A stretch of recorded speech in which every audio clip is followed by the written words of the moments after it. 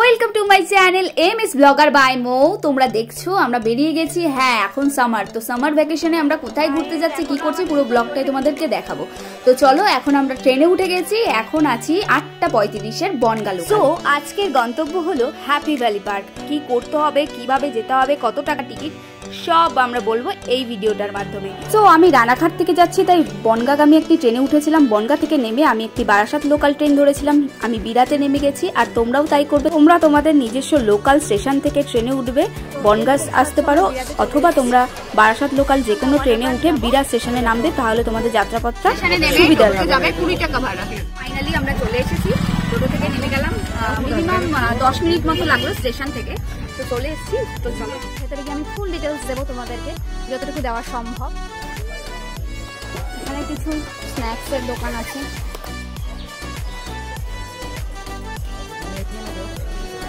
Ticket চলে এসছে per head চারশো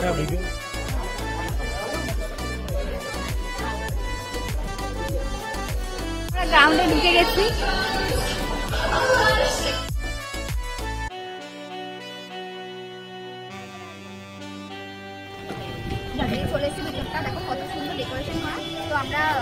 এমনি নর্মাল পার্ক এটা আর ওয়াটার পার্কের জন্য এন্ট্রি আলাদা রয়েছে। তো এমনি পার্কের জন্য এন্ট্রি হলো পঞ্চাশ টাকা আর ভেতরে যেতে হলে তোমার টোটাল টিকিট কাটতে হবে চারশো টাকা। ঠিক আছে? তো চলো। তো এটা হচ্ছে এন্ট্রি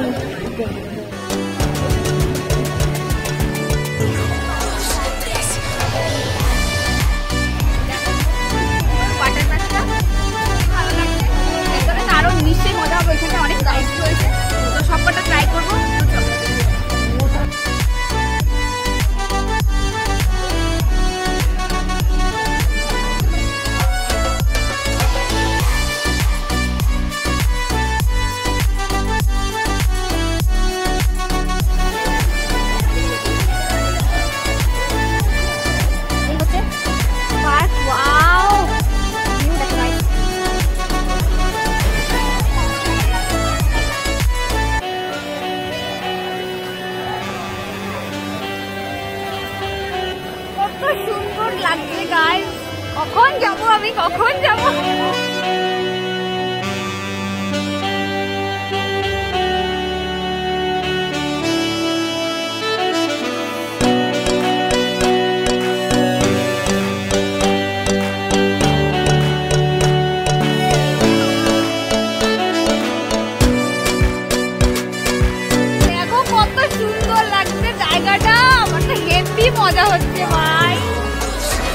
অসাধারণ ভেতরটা ঢুকে মনটা খুব ভালো হয়ে গেল তো আমরা একটু পরে ড্রেস আপ করে চলে আসব।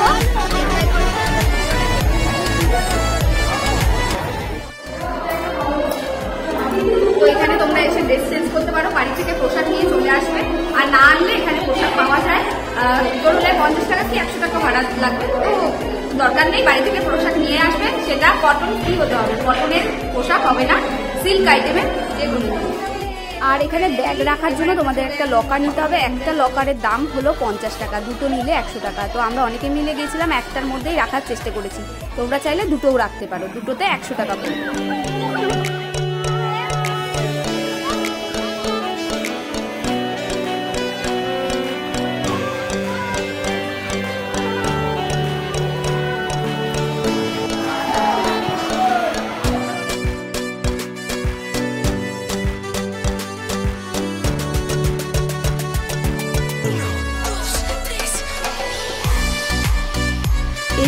পাহাড়ের আদলে তৈরি করা হয়েছে ঝর্ণার মতো ঝর্নার জল আর কি পড়ে উপর থেকে।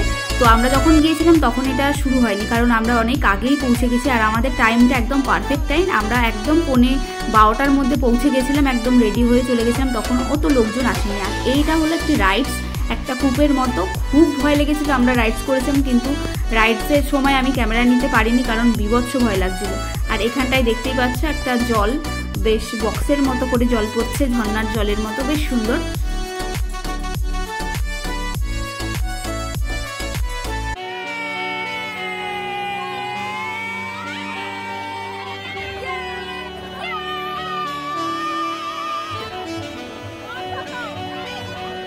সত্যি কথা বলতে আমরা কখনো এরকম জলে আর কি আমাদের এখানে পুকুর টুকুর নেই সাঁতার ফাতার কাটিনি। তো প্রচণ্ড এক্সাইটেড ছিলাম, আর তোমরা কি করবে? সবার ফার্স্ট যদি ফটো তোলার হয় ফার্স্টে ফটোগুলো তুলে নেবে, তারপরে জলে নামবে, আর জলে নামলে তোমরা ভিজে যাবে। আর এটা সব থেকে মজাদার ভিডিও তোমাদেরকে বলে রাখি, এই যে স্লিপটা রয়েছে, এই স্লিপটায় আমরা প্রথমেই উঠেছিলাম। মানে জলে স্নান করার আগে আমরা কিন্তু এই স্লিপে উঠেছিলাম। আর এটা উঠতে গেলে সবাইকে সাবধান করছি যে যারা একদম সাঁতার জানো না, তাদের খুব সাবধানে থাকতে হবে। আর আমি যেহেতু আমি সাঁতার জানি না, তো আমি প্রথমে এটা গিয়ে একদম জলের ভেতরে ঢুকে গেছিলাম। জলটা যদিও বেশি ছিল না, কিন্তু আমি ডুবে যাচ্ছিলাম। মানে আমি কিছুতেই সোজা হয়ে দাঁড়াতে পারছিলাম না। কারণ আমি কখনো সাঁতার কাটিনি, তো দেখে মনে হচ্ছে আমি ডুব সাঁতার দিচ্ছি। বাট কিন্তু আমি ডুবে যাচ্ছিলাম, আমাকে ধরে তোলা হয়েছে।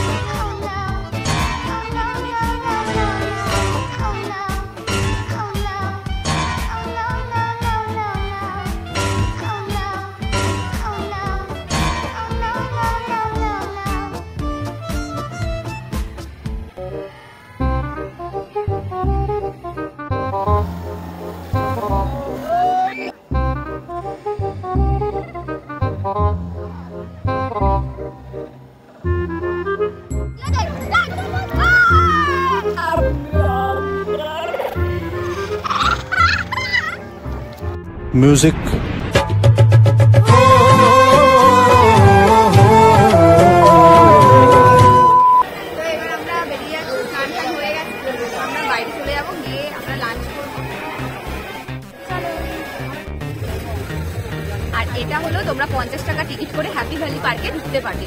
ওয়াটার পার্ক ছাড়া। অনলি ফিফটি রুপিস তোমরা ড্রাই পার্কে তোমরা ঢুকতে পারবে এবং একটা বোটিং রয়েছে এবং সুন্দর গাছ সবুজ রয়েছে। অনেক সুন্দর এরিয়াটা, তোমরা শুধু পার্কে ঘুরতে আসলেও আসতে পারে। কিন্তু আমি বলব, পার্কে যখন ঘুরতে আসবে, একবার ওয়াটার পার্কে তোমরা ট্রাই অবশ্যই করবে। আর এত সুন্দর রাইডগুলো রয়েছে, প্রথমে ভয় লাগবে ঠিকই, কিন্তু তোমরা নিশ্চয়ই এনজয় করবে। তো চলো, দেখতে থাকো, আমরা বিরিয়ানি খেয়ে নেব।